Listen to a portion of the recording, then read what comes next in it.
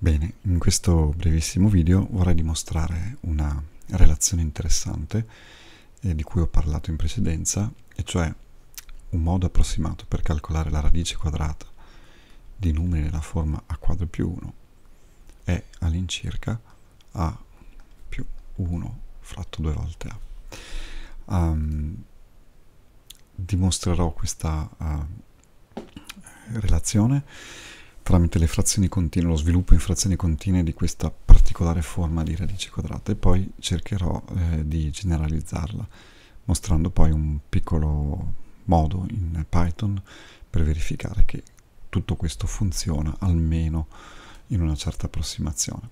È interessante perché è un uso delle frazioni continue che normalmente non si fanno a scuola, invece hanno uh, secondo me un grande valore anche didattico. Quest'anno ho avuto la fortuna di ereditare una seconda eh, in cui ho due ore di potenziamento in matematica e, e quindi sto provando a fare cose di questo tipo. Sarà anche chiaro perché questa forma è particolarmente interessante, la sua generalizzazione è anche interessante ma meno efficace.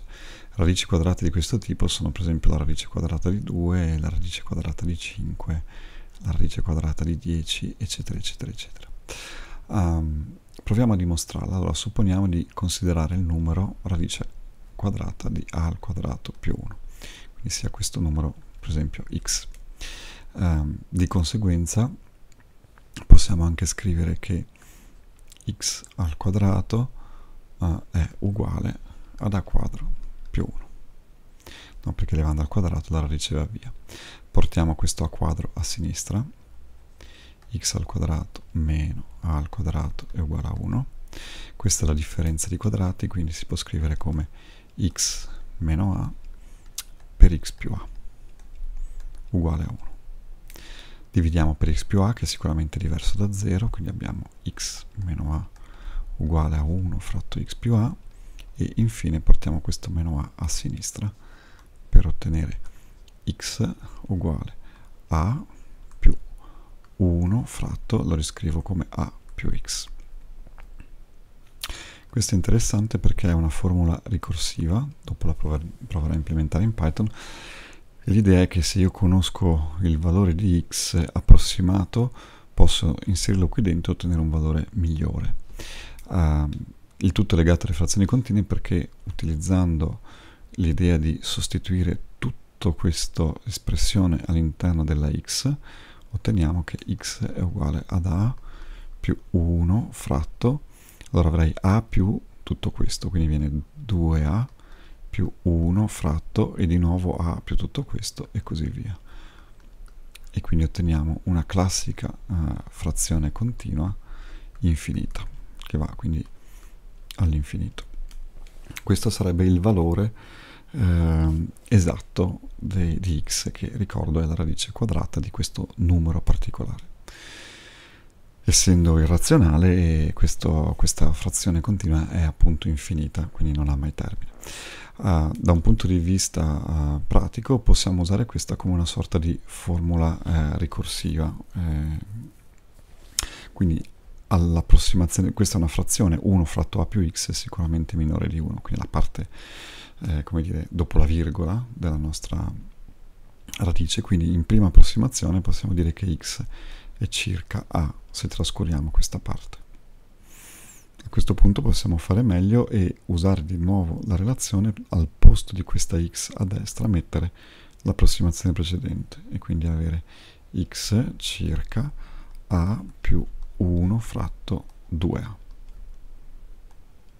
E questa è proprio la formula dove ci siamo fermati al primo passaggio di eh, iterazione. E come farò vedere in un attimo facendo un piccolo programmino in Python, la cosa funziona piuttosto bene. Soprattutto per A grandi questa è una buona approssimazione, quindi mentre per la radice quadrata di 2, esempio,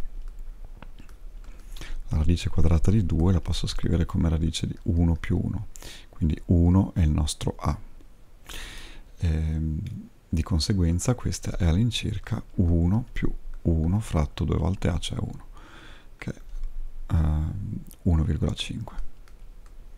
tre mezzi, no? E noi sappiamo che in realtà la radice quadrata è 1,414, eccetera, eccetera, eccetera. Quindi per la radice quadrata uh, di 2 eh, l'approssimazione è del 10% circa, è sulla prima cifra decimale. Però se uno va per esempio a radice quadrata di 5 o radice quadrata di 10, vedremo tra un attimo che più vado avanti, più l'approssimazione diventa buona. Quindi questo è un modo, è un modo per ottenere un'approssimazione eh, di una radice quadrata particolare eh, tutto sommato accettabile. Inoltre è, è, migliorabile, nel senso che io potrei non fermarmi a questa approssimazione che è molto facile da ricordarsi, anche abbastanza elegante, no? A più 1 fratto 2 volte A. Potrei andare avanti e sostituire al posto di x questa espressione, cioè avere un'ulteriore approssimazione ancora migliore che è data da A più 1 fratto A più tutto questo, quindi viene 2A più 1 fratto 2A che se uno guarda è esattamente lo sviluppo in frazione continua infinita in, in, dove mi fermo al diciamo, secondo piano qua sotto. E quindi potrei in realtà migliorare notevolmente la mia approssimazione aggiungendo dei termini successivi. Ma già questo, mostrerò dopo, è, ripeto, una buona approssimazione. Prima di mostrare il codice e fare due esperimenti banali eh, per vedere come la cosa funziona, è possibile eh, generalizzare, perché questo chiaramente mi, mi, dà una tecnica numerica per radici quadrate di una forma particolare, 2, 5, 10. Se io dovessi fare radice quadrata di 3 o di 7 o eh, di, di 15 per esempio, non rientriamo in questo caso. Ebbene si può generalizzare ottenendo qualcosa che non è altrettanto buono ma comunque utilizzabile. E l'idea è praticamente la stessa. Immaginiamo di voler calcolare eh, la radice quadrata di un numero che non sia un quadrato uh, perfetto, è un quadrato esatto e quindi sarà sempre possibile scriverlo come a al quadrato più b. Quindi la nostra x sia in questa forma, quindi a questo punto può essere qualsiasi cosa, per esempio la radice quadrata di 7 la posso scrivere come la radice quadrata di 4 più 3, e cioè la radice quadrata di 2 al quadrato più 3. Quindi in questo caso a è 2 e b è 3. Quindi qualunque numero, stiamo parlando chiaramente di numeri interi, anzi naturali, eh, qualunque numero può essere sempre scritto come un quadrato più uh, un, uh, una sorta di resto no, rispetto al quadrato. Il caso fatto finora era con b uguale a 1 ed era il caso migliore. Perché era il caso migliore? Perché eh, questa parte che io vado a trascurare ha il numeratore un 1 e quindi è tutto sommato piccola rispetto ad a. Quindi l'approssimazione risulta uh, sin da subito uh, buona, mentre come vedremo adesso uh, questo non avviene in questo caso. Quindi trattiamo questo caso generale, beh, sarà praticamente identico a prima. Posso fare x al quadrato che è uguale ad a al quadrato più b, ecco perché si cerca di eh, esplicitare un quadrato, no? perché portando a sinistra posso sfruttare il prodotto notevole, cioè la differenza di quadrati, cose che si fanno in prima. Questo x a meno quadro lo scrivo come x meno a per x più a uguale a b e come prima alla fine ottengo che x è uguale ad a più b, la differenza sta qua, di a più x. Quindi di nuovo ho trovato una forma eh, iterativa, dove però questa volta questo b fratto a eh, più x è, è sì eh, una eh, frazione, b è sicuramente più piccolo eh, di, ehm, eh, come si dice, di a al quadrato, ehm, ma non è detto che trascurare questo termine sia effettivamente eh, una cosa buona da un punto di vista numerico. Quindi posso agire come prima, cioè posso dire in prima istanza x è circa a, già qua vedete faccio un errore abbastanza importante perché mentre nel caso che abbiamo analizzato all'inizio, che è questo, effettivamente la radice quadrata di a al quadrato più 1, se a è grande questo 1 è trascurabile rispetto ad a al quadrato. E quindi la radice di questo è circa a in prima battuta, qua eh, questo b può essere anche grande ok? Quindi questa approssimazione potrebbe non essere buona. È chiaro che a questo punto il trucco è lo stesso di prima, cioè posso andare avanti e scrivere questo come a più b fratto al posto di x metto l'approssimazione al passo precedente, quindi viene 2a. Quindi vedete è uguale, ma con un B. Di nuovo, ripeto, siccome qua non c'è 1, potrebbe non essere una buona approssimazione. Però a questo punto eh, posso sempre ovviare al problema andando un po' avanti, cioè facendo un'ulteriore approssimazione e se poi non mi accontento eh, posso andare avanti quanto voglio, chiaramente non all'infinito, ma anche in questo caso in linea di principio, essendo un numero irrazionale, dovrei andare avanti all'infinito se volessi avere il valore esatto. Si chiamano appunto frazioni continue infinite. Quindi anche, anche il metodo visto prima è generalizzabile, non funziona altrettanto bene rispetto al caso a quadro più 1. Um, si possono fare alcuni piccoli test, uh, vediamo se riesco a mostrare qualcosa. Bene, questo è il mio ambiente di sviluppo, non è necessario usare Python, uso Python perché è il linguaggio che stiamo utilizzando nella mia classe di potenziamento, ma andrebbe bene anche carta e penna, una calcolatrice, qualunque cosa. Quindi con Python abbiamo la possibilità però di mm, fare calcoli velocemente generalizzando il problema. Quindi proviamo a definire una funzione, chiamiamola sqrt, che ha eh, come argomenti a di a quadro più 1 del numero che eh, vogliamo calcolare e il numero di iterazioni. Io poi mi fermerò alla seconda, però rendiamo il tutto generale. No? Um, quindi l'idea è di costruire una funzione eh, ricorsiva. Quindi se n è uguale a 1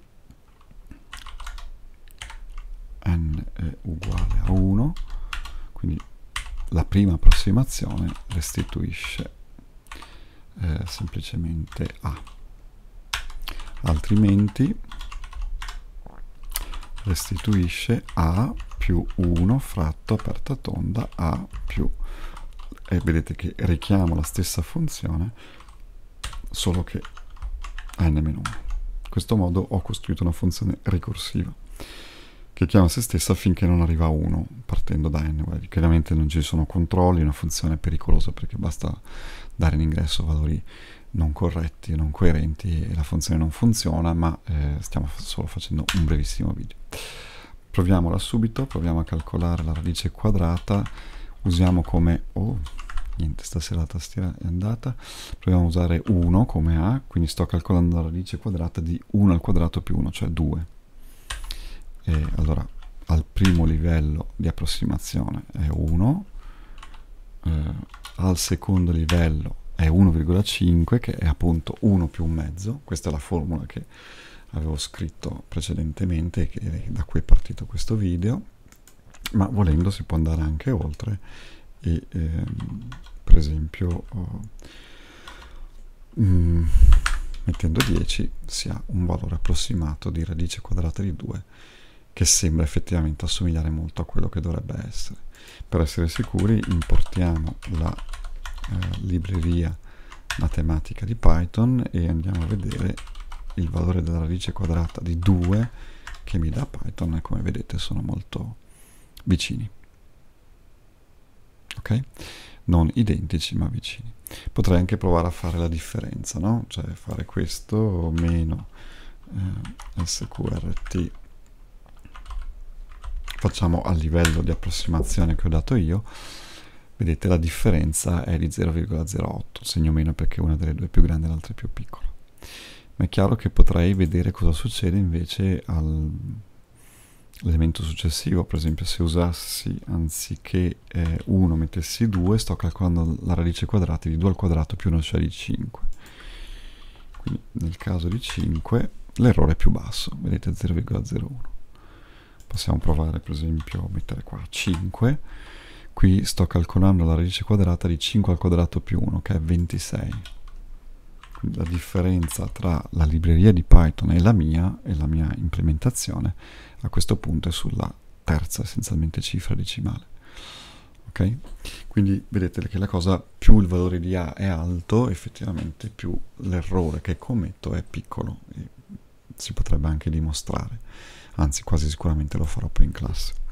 Eh, se aumento uh, il numero di iterazioni l'errore diventa addirittura, vabbè adesso non è esattamente zero, è semplicemente la precisione con cui lui eh, sta eh, mettendo ad output al monitor la, il valore, però è sicuramente molto piccolo. per rendersi conto di questa cosa in maniera un po' più ottimale possiamo anche fare eh, così, facciamo un ciclo uh, for i in uh, range 1, 20 e proviamo a, a vedere cosa succede se faccio uh, quindi qui dovrò mettere i al quadrato più 1 e qui dovrò mettere i. Adesso vado a vedere nei primi 20 valori di uh, i quello che ho chiamato prima a nei primi 20 valori qual è la differenza tra la routine eh, che eh, utilizza Python e la routine che abbiamo fatto noi approssimata. Ups. Uh, mm, mm, manca la i. Scusate stasera non sono in vena. E chiaramente devo dirgli print se no non si legge niente.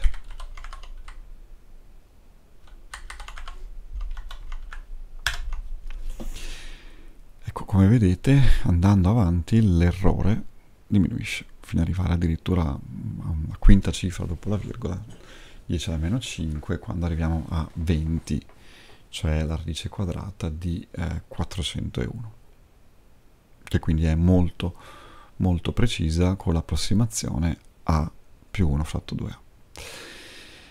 Va bene, lascio come esercizio generalizzare questa funzione al caso in cui il numero non sia nella forma al quadrato più 1, ma sia nella più generica forma al quadrato più b. Sarà facile verificare che l'approssimazione al, diciamo, al primo step non è così buona come abbiamo ottenuto prima. Direi che per stasera è più che sufficiente buon sabato notte a tutti e a tutte. Arrivederci.